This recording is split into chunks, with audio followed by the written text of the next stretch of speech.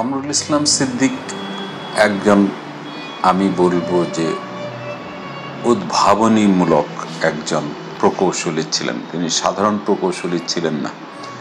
তিনি শুধু ইঞ্জিনিয়ারিংয়ের যে নাট বল্টু, এগুলো নিয়ে কাজ করতেন না। তিনি মানুষকে নিয়ে কাজ করতেন, পরিবেশ নিয়ে কাজ করতেন।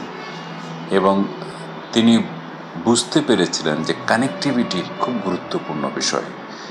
এই যে ঢাকা শহরের সাথে গ্রামের মানুষের যে সংযোগ, এটা বাড়াতে হলে গ্রামীণ রাস্তাঘাট, কালভার্ট এগুলো তৈরি করতে হবে। এবং সেই জন্য তিনি তখন তো এত অর্থ ছিল না, ইচ্ছে করলেই পাকা রাস্তা করা যেত না।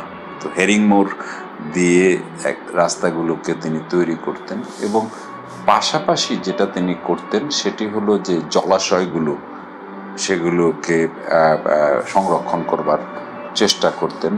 গ্রামের যে তোমার গ্রোথ সেন্টার আছে, বাজার, হাট, বাজার, এগুলোকেও তিনি সুসংগঠিত করবার চেষ্টা করতেন। এবং কামরুল ভাইয়ের যেটা বড় গুণ ছিল, সেটা হলো যে তিনি মানুষ অ্যাট্রাক্ট করতে পারতেন, আকর্ষণ করতে পারতেন। এবং গবেষণাকে তিনি খুব গুরুত্ব দিতেন। আমরা বিআইডিএস কাজ করতাম তখন, আমাদের প্রায়ই ডাকতেন যে, আমি যে এই প্রকল্পটি নিতে চাচ্ছি, এই প্রকল্পটির ফিজিবিলিটি কেমন হবে? এটা করলে কি ইম্প্যাক্ট হবে? আপনারা যদি একটু প্রাথমিক কাজটা করে দেন।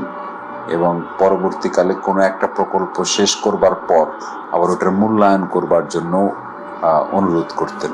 তো এটা কিন্তু সব নীতি নির্ধারকরা এরকম করে ইনফরমেশন বেসড সিদ্ধান্ত নেয় না।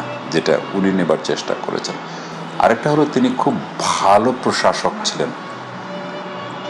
গোলসগুলো ঠিক করতেন, সেই গোলগুলো পূরণ করবার জন্য পুরো তার যে টিম, সেই টিমটাকে যুক্ত করতেন এবং ডিসিপ্লিন যাকে বলে একেবারে সর্বোচ্চ ডিসিপ্লিন রক্ষা করে তিনি চলতেন।